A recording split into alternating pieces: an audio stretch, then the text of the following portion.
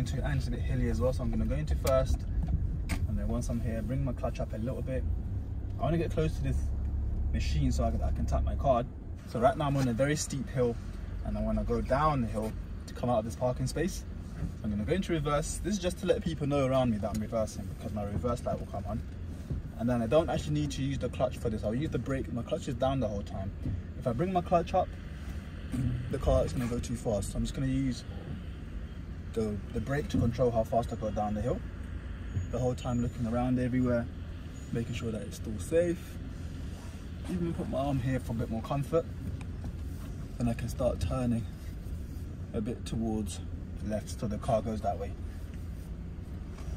I'm just going to reverse back a bit more so I can go up this ramp. Looking everywhere. So this bit is quite steep as well. Let me let people know I'm going this way. There are some kids walking in front, so I'm going to let them do their thing first. Car behind me. I'm going to keep to the left. So those kids are now on the pavement, so now I can move forward keep it to the left. Nice and clear on that side so then I can go. You notice the whole time I didn't come off the clutch there. That's the mistake a lot of learners make is when they're coming up the hill there, they'll bring up the clutch too high and then the car's gonna stall or it's gonna go too fast up the hill. So I wanted to control my speed so I just kept my clutch around the biting point and not too high and not too low. So now I'm just waiting for this light to go green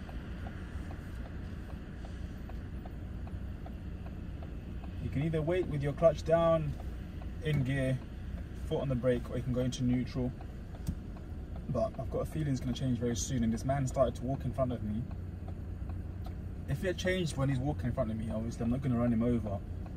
But if he was still on the side, I would want to start moving so that he knows that the lights changed for me. In a second, I can see a bus, but now they've moved off. So I don't need to worry about them too much. Slow down a bit pedestrian. So this road is gonna split into or go back into one lane again. I can see there's a car from the right there, but it's turning that way, so I don't have to worry about it. But you need to be aware of that. Be aware that the lanes are merged together and check that mirror. Just like here, I'm gonna check my left mirror because I'm going towards the left, and then I'm gonna check my right mirror again because I need to go a bit towards the right to not hit these cars. So we've got, we've got the bus stopping on the left. I'm gonna check how many people are getting on the bus and I'm going to check my mirrors as well so I can go around him. So people are still getting on, so which means it's not going to move anytime soon. Then I can go around him after checking my mirror. No need for a signal there. And here, nice and slowly through here. I'm doing around just around 20, just over 20 miles per hour. Got a car poking up from the left, but he's seen me, so he's going to have to wait. You don't want to overreact here and stop for no reason. If they've seen you and then they're stopping, you carry on. See the lorry up ahead is slowing down to make the turn, so I can just I can slow down as well. Check my left mirror. Now I could go into the left lane, but I can see there's a bus lane straight after this junction, so there's no need to go there and then come back out again. I'm just gonna stick to this middle lane for now, which then turns into the right lane of these two lanes. While I'm here, I'm to check this mirror because I, there could be potentially any vehicles coming from this side, but then they'll see the bus lane sign and then they'll try to go in front of you. So I want to make sure I'm checking that mirror as well.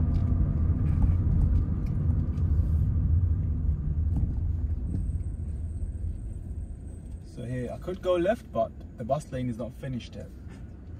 Be careful not to cut into the bus lane too early when you're trying to go into the left lane. And sometimes it might not even be worth going into that left lane either because a bit further down could be a bus lane pretty much straight away. Let's see. So I'm going to stick to the left for now. And I can see on the floor there are markings telling us that the lane's coming to an end because it's a bus lane. Then I'm going to check this mirror and this car's going to go past. Slowing it down a bit so I can go in there nicely without getting too close to them. So if you need to change lanes like that or need to merge into the other lane, just use your mirrors properly, slow down gradually, and then move into the lane when it's safe.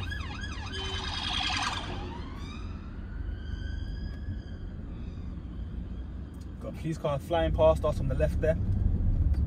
And then now that's gone to red, making sure I keep an eye on the lights so that I don't just follow the car in front, which is what a lot of people do, a lot of learners anyway, they'll follow the car in front and then end up potentially going through red lights.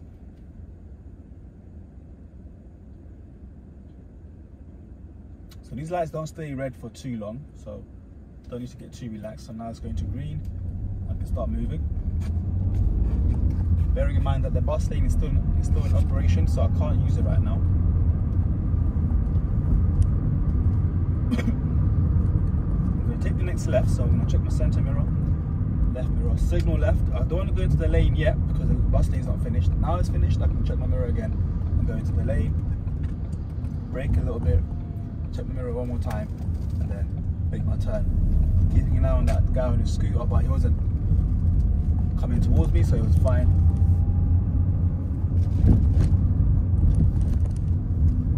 Still 30 miles an hour around here because I can see the sign. And before I saw that writing, I could tell because there's no other signs since I joined this road. And this road earlier was 30 miles per hour. So if the speed limit had changed, there'll be signs telling us that it's changed. Going into this road that looks like a one way, but it's actually a two way into a meeting situation. So I'm just gonna move a little bit here. So I don't, to, I don't need to go all the way to the left, just enough for this car to go past and then once it's gone I check my mirror and then move out again.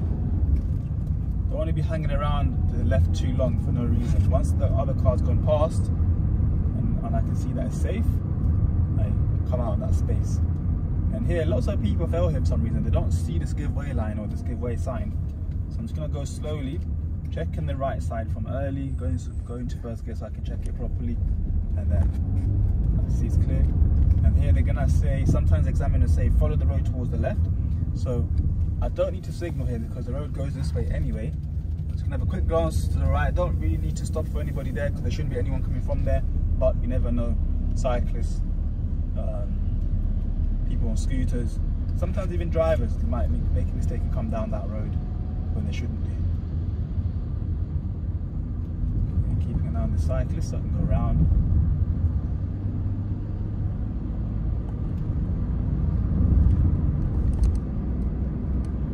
It's still 30 miles per hour. So now I can go into third, going up this hill. Checking my right mirror.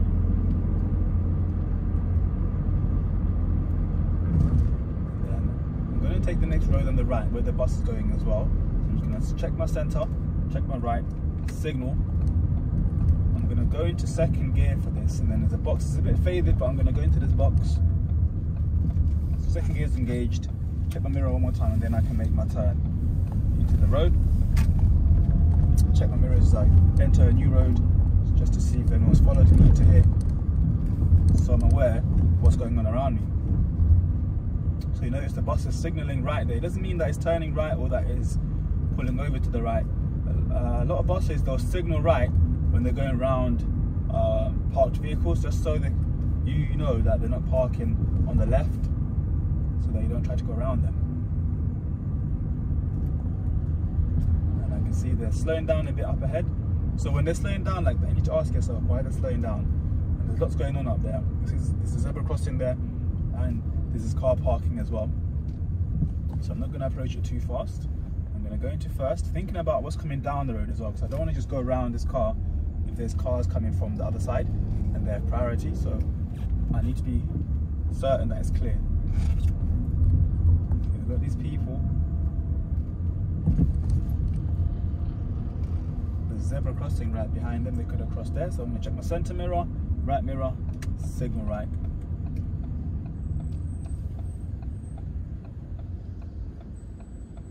here these lights take quite a long time so I'm just gonna put my handbrake on go into neutral and relax for a bit while I've got my signal still on uh, I'm gonna be joining the dual carriageway here and we are the only lane that's gonna turn right here.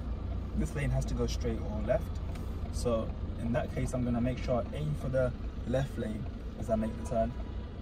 That way it's much easier to deal with when I go down the road. I don't have to worry about switching back to the left again. I'm already in the lane that I need to be in.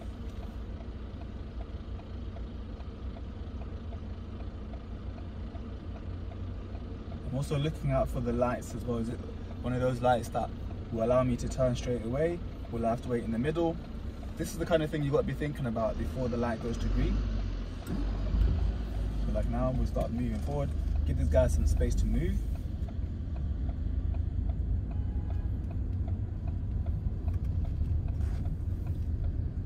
Uh, so he should be moving forward now because there's nothing stopping him from moving forward. Because all the other cars are turning this way. I'm going to make sure that I can see properly. He's taking a bit long, so what I'm going to do, Going to aim for the middle lane. Because he's doing it a bit slowly. And then now I can carry on. So once I'm here, so I can see there's nice space on the left, so I'm going to check my mirror, mirror, signal, and then go back to the left. So you don't have to be in a rush to go to the left lane. Do it in a nice, safe way.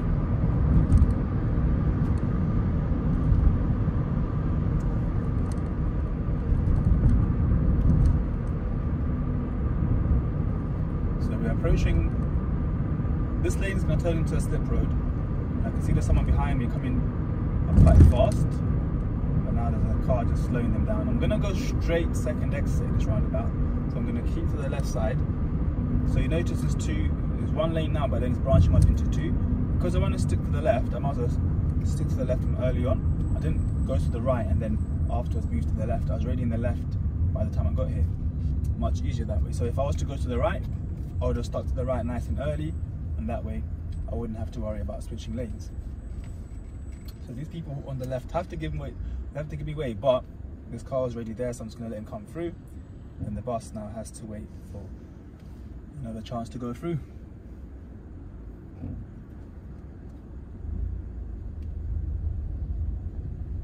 So when you see lots of traffic like this leading up to the roundabout, it usually means it's quite busy. So it might be tricky to get onto, but it's all about being patient and going at the right time. So I'm just checking, I'm keeping it first for now because I want to approach it slowly. Checking the right, I can't really see properly because there's a car next to me, but now I can see that it's clear, I can add more gas. Going to second, notice I've got no signal on at the moment, but as soon as I go past that, that exit, I can signal left now. Let everyone know that I'm coming off this exit here. Check my mirror as well, see who's coming off with me. Cancel my signal, I can see the speed limit there for 40 miles per hour. When the bus is pulling over, this lanes are coming together. Check this mirror because the lanes are now one. This car might turn, so yeah, you see, I'm just gonna slow down a bit. Good second, and then now I'm joining this dual carriage so I can add more speed.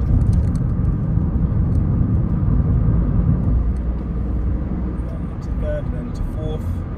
I'm doing about 40 miles per hour in the left lane because the slip road took us to the left lane anyway. So I didn't need to worry about changing lanes. So the second set of lights I'm going to turn right. You might hear that instruction sometimes, which means that the, the lights are quite close together. So you want to start moving over. So if they say at the second set of lights, you're turning right, you want to start moving over and aim to be in the right lane before the first set of lights because the second set of lights are going to be quite close and now I can cancel my signal because I'm not turning on the, on the first set of lights, I'm turning on the second set of lights which I'm expecting to be quite close light's been green for ages, so I'm just going to slow down a bit, check my mirror. Once I get here, even if they change, I'm going to keep moving. I can see the second set of lights. Now I can check my mirror, mirror, signal. Straight into the slip road, check my left, check my right mirror. In fourth, I'm going to keep it in fourth the whole time. And then once I get to around, around here, I'll put my clutch down. And then I'm going to neutral handbrake on. Or I could have gone into one, but the lights might take a while, so I'm just going to keep it neutral for a second. If you're not comfortable doing this, just keep it in, in gear one so that you're ready to move. It's much easier that way.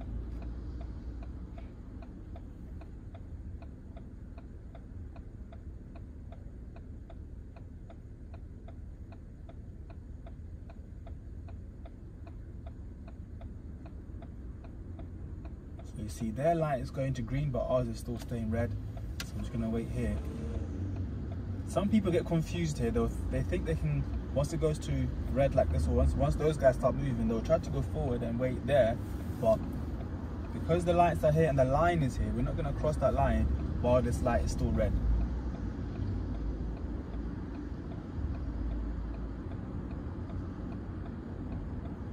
Once those cars start stopping, our one's gonna be green soon. So I'm gonna use that as like a cue when they start stopping or when they start slowing down, I'll start getting ready. I see some of them slowing down, like that car there slowing down a bit, which means our light's gonna change to green very soon. Check, check both sides, and then I can make my turn, checking my mirrors as well. Taking note of the speed limit on this road, which is 20. So coming off the dual carriageway, it's very easy to miss the speed limit and then end up going too fast. Even sometimes people will see the speed limit, but then still end up going too fast because they don't realise how fast they're going since they were going fast on the motorway or the dual carriageway. We're going to pull over on the left in a safe place. I'm just going to check my centre mirror. I've already seen where I'm going to pull over first. I'm going to check my centre mirror, left mirror, signal. I'm going to go into the left nice and early.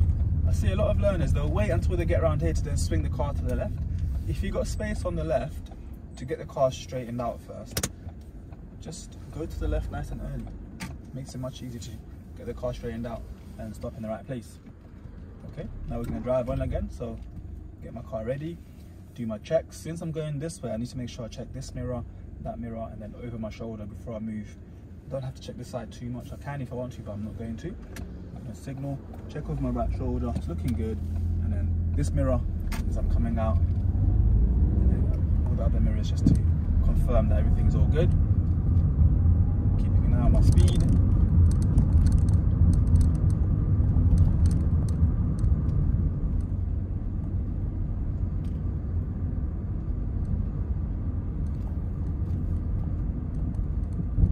So some people around you will go faster than 20 and it can be quite off-putting because you're thinking you might feel like you're going too slow but you need to always be mindful of how fast you're allowed to go and how fast you're actually going. Don't worry about what other people are doing too much.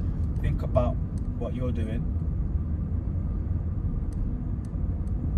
and stick to the speed limit. We're gonna go left at the end here. So I'm gonna check my center, check my left. Once I go past this road, I'll signal left so I don't want to confuse anybody. And then here, I'm gonna go into first on the approach and I'm gonna aim towards the left. So the way this guy's done it, he's done it really well position himself towards the left. So anybody coming here that wants to turn right, he's not going to be in their way. I'm going to do the same thing. Check the mirror one more time. Check this side. Once this car's gone and see a nice big gap, then I can make my turn. There's a sign on the side there for 30. I can see two buses, which sometimes can be quite stressful. I'm not going to rush to go past them. I'm going to approach it slowly. I want to check what's coming down the road first and then I'm going to check their signals. The first one is still signaling left, so I can go past him. And then the second one, he's signaling right, so I'm just going to go slowly enough so he can go, so he can start moving. And then that way I'm in between them. You don't have to rush to go past them if you're not sure what's going on. Make sure you know what's going on first before going past them, and make sure there's enough room. So here you notice I'm keeping a nice gap between me and his boss because once he stops, if he stops, I want to make sure I can prepare to go around him. So I'm just going to slow down loads, position myself slightly to the right, and then this way, if there was space, I'd go around him. But right now, there's no point going around him because there's traffic right in front of him, and I can see that. If I was positioned too far left, I wouldn't be able to see that, and I'll try to go around him right now, and I'll be stuck in the middle of the wrong lane. But now I can see the traffic ahead of him is moving. There are people running towards this bus trying to catch it. I'll see what happens once the other cars start moving. But the other cars have started moving, but this car's coming towards me now. So I'm not gonna try to go around this bus yet because there's no space for me to do that. So now that he's moving, I'm gonna check my left mirror and then go back behind him. So make sure you're keeping an eye on his signals before trying to go around the bus, which is what a lot of learners mistake. They, they're so focused on going around him, they forget to check the signal. Because if they start signaling to go right, then there's no point trying to overtake them at that point there. I'm gonna turn left at these traffic lights. Again, keeping a nice gap between me and the bus.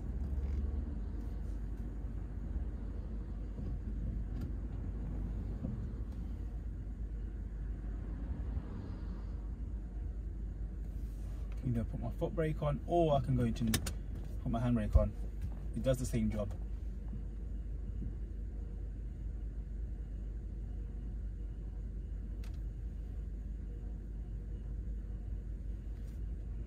I think a lot of people get frustrated when they're behind a vehicle where they can't see what's happening ahead.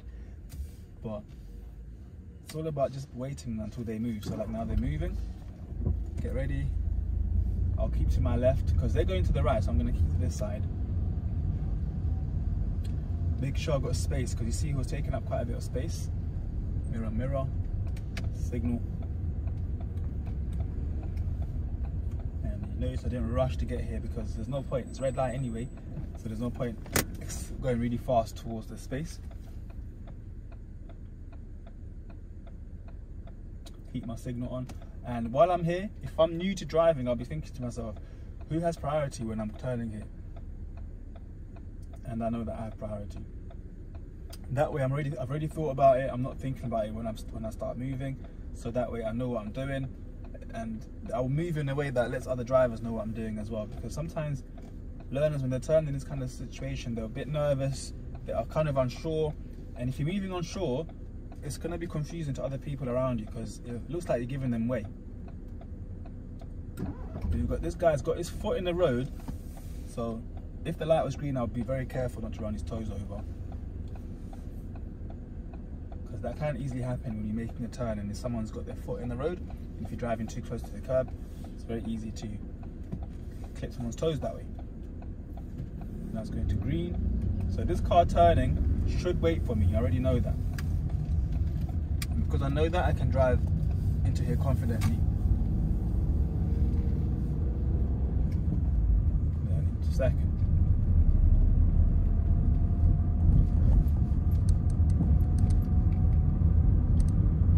going to turn into this car park here. So I'm just gonna check my center mirror, left mirror, signal left. And it's quite a tight space to turn into and it's a bit hilly as well. So I'm gonna go into first. And then once I'm here, bring my clutch up a little bit. I wanna get close to this machine so I can, I can tap my card. So I'll go close enough and then I'll secure my car.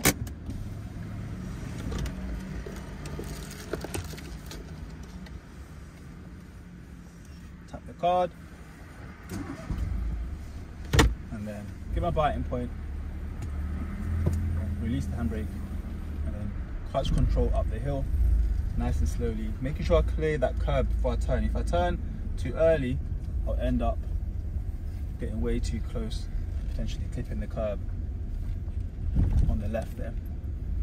So now it's just a matter of finding a parking space. I can see a nice one right here. I'm to drive straight into it.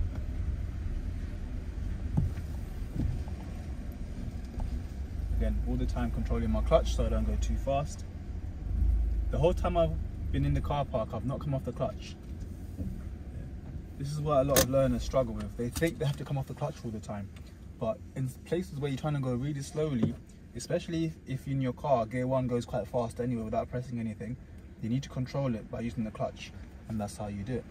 All right so hopefully you found that useful guys. Thank you so much for watching this video. I'll see you in the next one. Bye